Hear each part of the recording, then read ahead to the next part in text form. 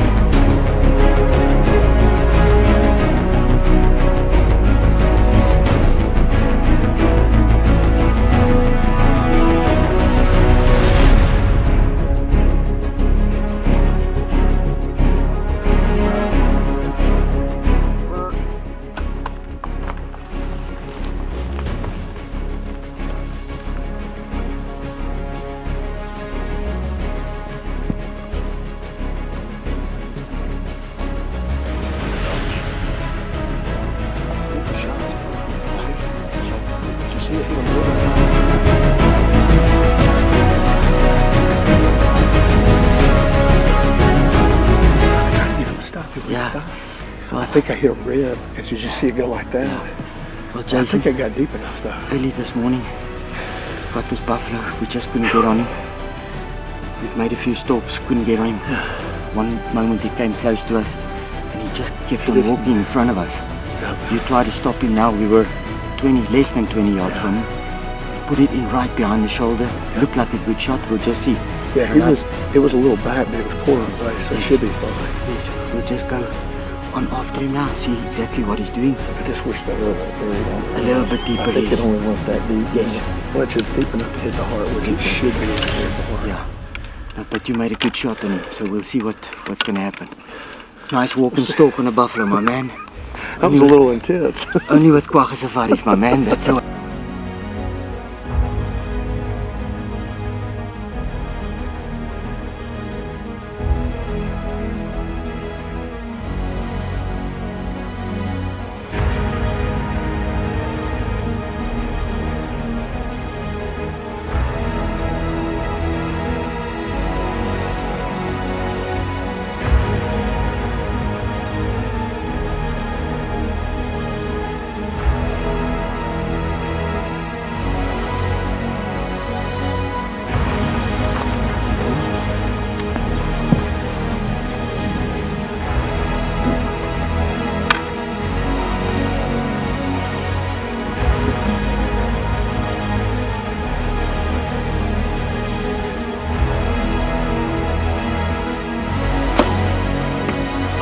Good shot.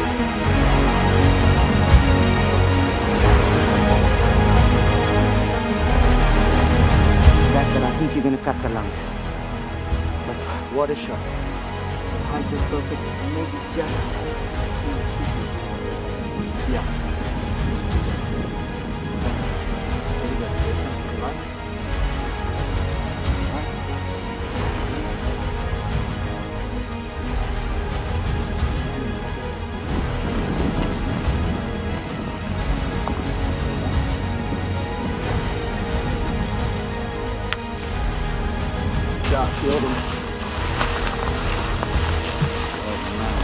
We'll come around this side.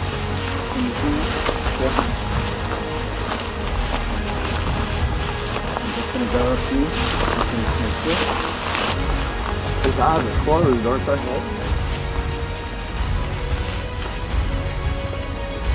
Oh yeah! Bow kill, my man! Okay! That's the way. Well done, my brother. Well done there. I think Well the first done. shot did the trick. Ah. Congratulations, guys. But both of